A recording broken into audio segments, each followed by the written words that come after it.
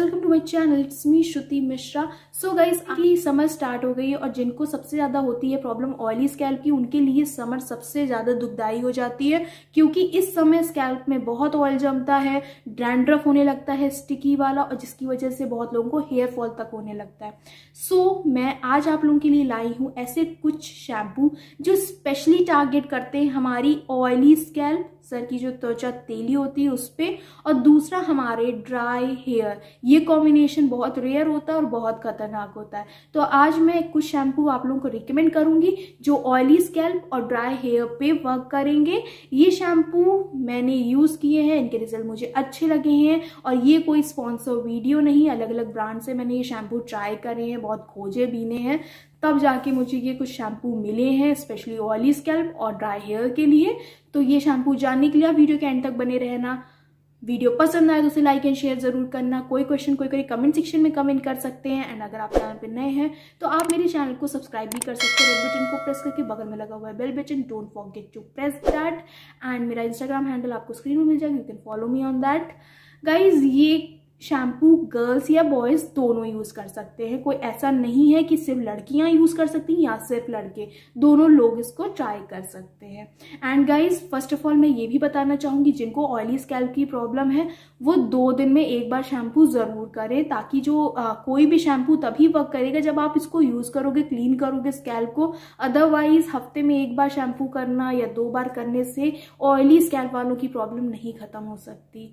So guys चलिए start करते हैं मेरा video so guys first shampoo है गाइज़ हेड एंड शोल्डर का lemon fresh anti dandruff shampoo ये ग्रीजी हेयर के लिए है ग्रीसी डैंड्रफ के लिए है. बहुत ही अच्छे फ्रेगनेंस के साथ ये आता है. सबसे स्मॉलेस्ट साइज़ है सिक्सटी या सेवेंटी रुपीज़ की आपको ये मिल जाएगी. बॉटल लोकल स्टोर्स में ऑनलाइन और अमेज़ोन नायका नेटमेट सब जगह ये अवेलेबल है. ये शैम्पू आपके हेयर के ग्रीजीनेस को रिमूव करेगा.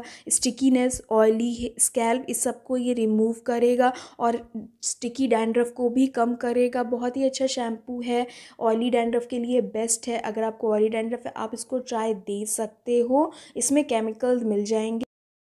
नेक्स्ट शैम्पू है गाइस डाबर वाटिका नेचुरल का लेमन एंड मेथी शैम्पू ये भी एंटी डैंड्रफ शैम्पू है सात पोर्शन के साथ। है बहुत ही अच्छे इंग्रेडिएंट इसमें मिक्स हैं, कुछ केमिकल्स हैं, लेकिन ये आपको ऑफ़र में वन एट्टी रुपीज़ का मिल जाएगा। नायका अमेज़ॉन और लोकल स्टोर सब जगह ये मिल जाएगा इवन नेटमेट में भी।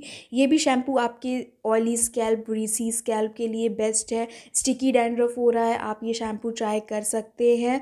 ये इसकी फ्रेगनेंस भी बहुत अच्छी है। दो से तीन दिन तक के आपके स्कैल्प को ऑयल को कंट्रोल करता है। बाकी ये शैम्पू में छोटी बॉटल भी अवेलेबल है। आप अगर फ़र्स्ट टाइम यूज़ कर रहे हो तो आप इसकी छोटी बॉटल ले सकते हो। फ्रेगनेंस थोड़ी सी स्ट्रॉन्ग है, लेकिन अच्छी है और ये शैम्पू बहुत ही अच्छे से एक्सेस ऑयल को रिमूव करता है और साथ में ये बालों को ड्राई नहीं करता। तो जिनके ड्राई हेयर्स हैं और ऑयली स्कैल्प है, वो डेफिनेटली शैम्पू को ट्राई कर सकते हैं। बाकी ये पूरा कम्प्लीटली आयुर्वेदिक शैम्पू नहीं है। इसमें कुछ केमिकल्स हैं। गाइस हिमालय का anti dandruff shampoo with tea tree fight dandruff make hair healthy तो टी ट्री के साथ ये आता है, ये भी स्पेशली ऑयली डैंड्रफ के लिए है। टी ट्री ऑयल जो होता है, वो specially oily skin oily scalp के लिए वर्क करता है। या आपके स्कैल्प के एक्सेस ऑयल को रिमूव कर देगा डैंड्रफ को रिमूव करेगा। आप इसको यूज़ करोगे रेगुलरली अल्टरनेट डेज़ में, ये आपके हेयर के स्टिकीनेस को रिमूव कर देगा। ये भी ईजिली अवेलेबल है नायका अमेज़ोन लोकल स्टोर्स में नेटमेड में सब जगह आपको मिल जाएगा।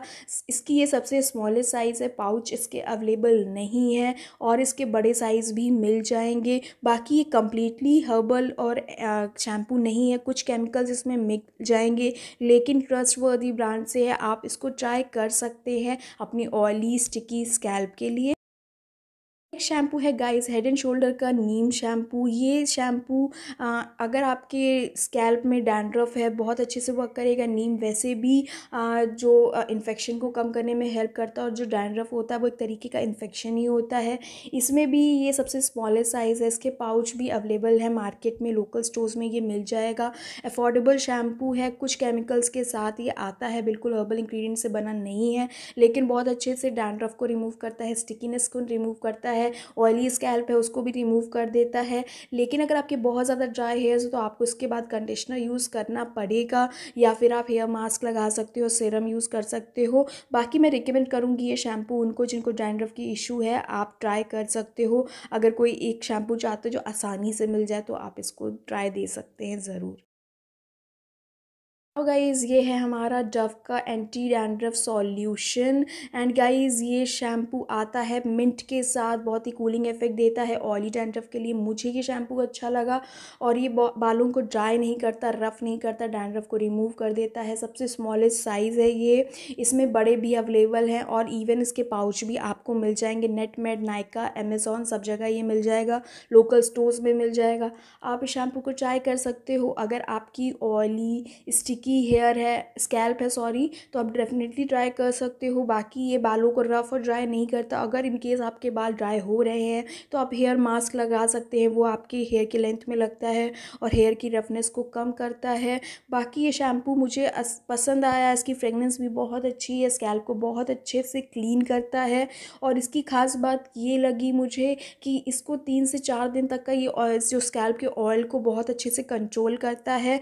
इसमें कुछ केमिकल्स हैं। ये कोई हर्बल इंग्रेडिएंट से बना शैम्पू नहीं है तो इन केस अगर आपको केमिकल से प्रॉब्लम नहीं है तो आप डेफिनेटली इस शैम्पू को ट्राई दे सकते हैं और या चाहे तो उसके पाउच भी परचेज़ कर सकते हैं, पसंद है तो आप बड़ा ले सकते हो, या आप पे डिपेंड करता है।